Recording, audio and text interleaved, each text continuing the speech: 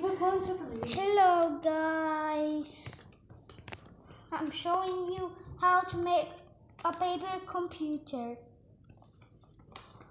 First, you need to print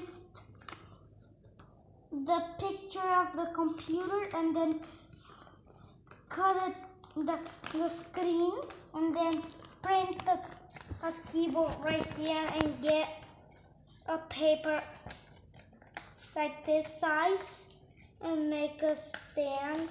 And put a glue right here inside right here and put glue right, in here, inside and then wait to to to get the glue out.